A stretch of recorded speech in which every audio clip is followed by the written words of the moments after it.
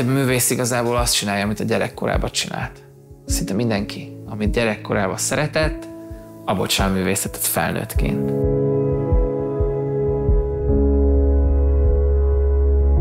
Már egész kicsi koromban mindig érdekelt valami, valami kreatív, valamit mindig változtatni akartam. Volt egy ilyen kertes családi házban nőttem fel, és ilyen építettem kertbe ilyen faházat, meg állandóan átpakoltam mindent, a szobámat például átrendeztem folyamatosan, mert mindig meg akartam nézni, hogy milyen a, a látvány, vagy hogyan lehet ezt ugye máshogy szemlélni dolgokat. És ugye nekem ez a, a festészetemre is nagyon jellemző, hogy egyfajta ilyen átformálás, forgatás, vizsgálás van ugye az anyagokkal.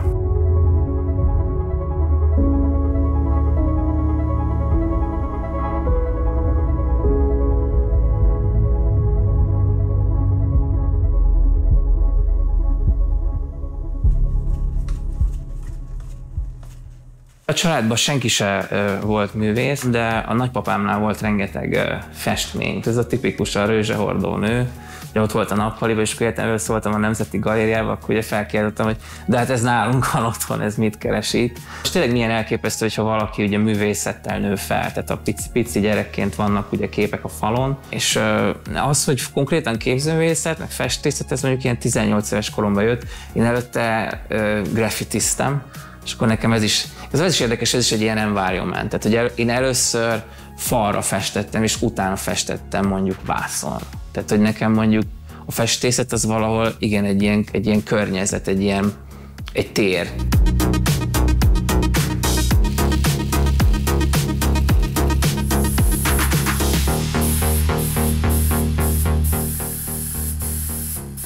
Csak a vászonra ecsettel fest az ember, minden egyes ecsetvonás az egy, egy végleges döntés, és azt nem lehet változtatni, visszavonni, le lehet persze törölni, de akkor is megváltoztatja a vásznat. És nagyon elkezdett engem az érdekelni, hogy hogy lehet a képalkotás vagy a képmezőt felszabadítani, és csinálni belőle egyfajta ilyen nagy mozgásteret mi lehet még festészet, tehát lehet akár egy hálóprint, amire ugye digitálisan hozok létre egy computer screenen ezt a fajta ilyen festészeti harmóniát, illetve akár, hogyha azt vesszük, hogy én odarakok egy pöttyöt egy ecsettel, akkor az a pötty, az lehet akár egy, egy transzparens plexi lemez, akár ami szintén egy színfolt, amit én utána bárhova tudok helyezni. Ez gyakorlatilag kiterjeszti a festménynek a terét és a művésznek a, a szabadságát.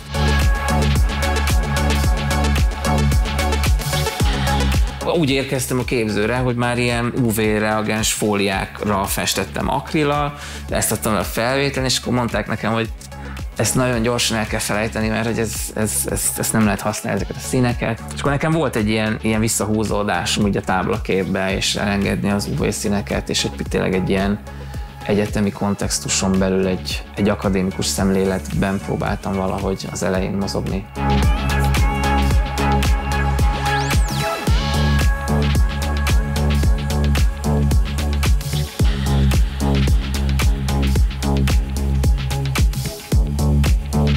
A Marszén nagyon energikus személyiség, tehát nagyon az első benyomásom az volt róla, hogy nagyon intenzív, annyira intenzív, amennyire a művei is. Nagyon sok mindent megtanultunk a képzőművészeti egyetemen, meg előtte a képzőművészeti szakközépiskolában, megtanulsz alakot rajzolni, szintan tanulsz, és utána az a kérdés, hogy van-e valami mondani valód, amit el akarsz mondani, amit megfogalmazol vásznon, két dimenzióban, három dimenzióban, és ez az az egyedi hang, ami hogyha elkezdődik, és, és tart, és tudod vinni tovább, és meg tudod mutatni, akkor ez lesz a terád jellemző motivum, a, a, a formavilág, a színvilág, ez az, ami, ami alapján be tudnak azonosítani. Én, hogyha ö, látom egy új munkáját, akár a műteremben, akár kiállítótérben, akkor nagyon sok esetben azt érzem, hogy ez engem feltölt, és érdekel.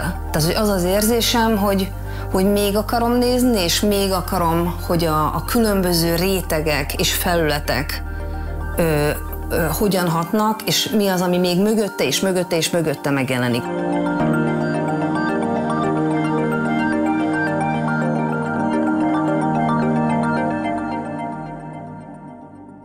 Nekem ez az igazi kinyílás az Londonba jött. Tehát ott volt az, hogy a, felvettek a Chelsea College-ra, és ott volt ugye hegesztő workshop, volt lézervágó workshop, volt asztalos műhely, és akkor engem ott ugye megtanítottak ezekre a technológiákra, és gyakorlatilag előttem így kinyílt a világ, hogy így, úristen, hogy bármiből lehet uh, tárgyat létrehozni.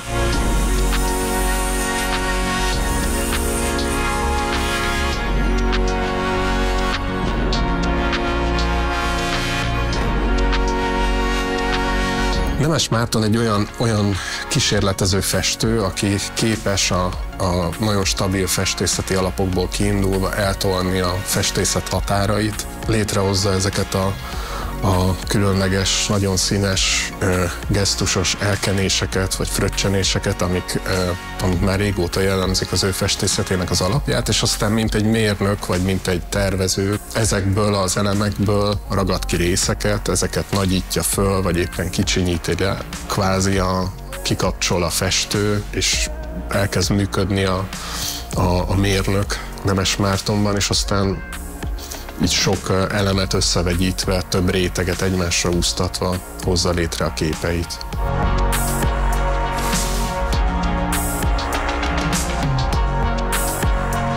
Mielőtt a képzőre jártam volna, ugye felvettek a Műszaki Egyetemre, ugye a képzőre először nem kerültem be, és jártam három évet formatervező szakra, amit akkoriban én, én, nagyon, én nagyon szenvedtem a BM-en, egy nagyon jó intézmény, csak nem nekem, tehát, hogy ott én, én borzasztóan azt éreztem, hogy múlik az idő, és vesztegetem el a, a, az államilag támogatott fél éveimet, meg a fiatalságomat, minden. És közben, ugye, amit azért engem ott ami engem ott ért, tehát ez a fajta ilyen, ilyen uh, 3D modellezés, mérnöki szemlélet, gyártás technológia, egy csomó olyan skill ragadt rám, ami egész egyszerűen tehát tudat alatt is beépült a gondolkodásomba. És az, amit én most csinálok, tehát ez a fajta ilyen technológiai művészet, ez, számomra elképesztő, hogy mennyire sokban eredeztethető abból a három év BML-ből, hogy ez mennyire meghatározó volt, hogy ott mennyire érdekes, hogy az ember életében sokszor, amikor szenvedsz, hogy valami nem jó, akkor az hozzájárul a te fejlődésedhez, és később abból óriási futálsz.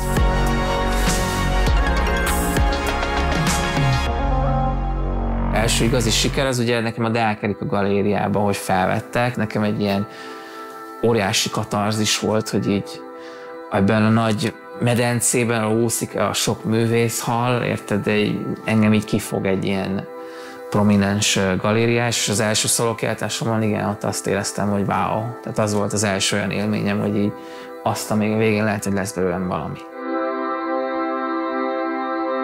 Igazándiból nekem ugye Londonban volt egy, egy nagy réteg, ami rárakódott, én nagyon szeretem az elektronikus zenét. Ez a londoni techno széna, meg annak az ilyen, tehát az egész ilyen fények, tükröződés, kicsit ilyen szürreális, ilyen illuzórikusság, ez, ez valahogy így, így rátapadt ezekre a munkákra, és teljesen jó, jól állt neki. De hogy ebből is egy picit most már így mennék tovább, tehát engem ilyen paradigma keresés érdekel, tehát hogy, hogy mire lehet a művészetet használni. A Velencei Biennálé magyar pavilonban való szereplésünk egy olyan projekttel fog megtörténni, aminek az a neve, hogy Technozen. Ez egy komplex élmény lesz. Van benne festészet, van benne fény, van benne mozgófény, teljes mértékben megtölti a teret. Minden képében ott van a, a mai világnak, vagy a mai nagyvárosi világnak a, az összes um, szépsége, vonzereje, izgalma, és ugyanakkor ö, mindennek valahogy a, ö, a mocska is. Amikor megláttam az alkotásait, akkor nagyon letaglózó volt ez a bátorság, amivel a különböző anyagokat használja, párosítja. Az úgynevezett klasszikus, sík festészet teljes felforgatása. Ez a Marci művészetében ez a határvonal, ami folyamatosan pengejélen táncol, és ez, ez benne a kockázat, ez, ez az, amitől amitől ezek nem válnak sorozatgyártott tárgyakká, hanem folyamatosan megvan bennük egy, egy, egy tét, vagy egy ilyen billegés, ami miatt a, a művésznek is folyamatos kockázat van a, a művei létrehozásában, és a nézőknek is van egy olyan érzése, hogy részt tudnak venni ebben a balanszírozó játékban. Tavaly volt 2022-ben az ACB-vel debütáló szóló kiállításom, ami szerintem, a, amit ott kiállítottam, az az eddigi szakmai teljesítményemnek az ilyen csúcspontja. Nagy áttörés volt az, hogy a Covid alatt elkezdtem szobrokban is gondolkodni, és hogy nekem ez a, ez a szobrászattal való ilyen, ilyen kacsingatásom, ez elkezdett egyre erősebb lenni, és az ACB galériás szólómum volt az, hogy ott már debütáltattunk szobrokat, és szerintem jól, jól fogadta a közönség. És ezután jön az, hogy New Yorkba költöztem. Tehát az tavaly. Mindig van egyfajta bizonytalanság, tehát hogy sosem lehetsz abban elég biztos, hogy hogy meddig releváns az, amit te csinálsz, és hogy mikortól fog, fogod te azt érezni, hogy, hogy ebben már nincs több. Tehát, hogy mikor kell lezárni egy témakört, mikor kell nyitni egy új témakört. Én csinálom a saját dolgomat azért, mert, mert azt gondolom, hogy nekem ezt muszáj csinálni, és, és az egy ilyen nagyon jó érzés, hogy, hogy ezt, az ember ezt látja, hogy, ez, hogy ez, ez másoknak is tud adni. Tehát, hogy ezért én nagyon hálás vagyok, hogy ezt megéltem. Magamnak miért vagyok hálás? Hát azért, hogy még nem adtam fel.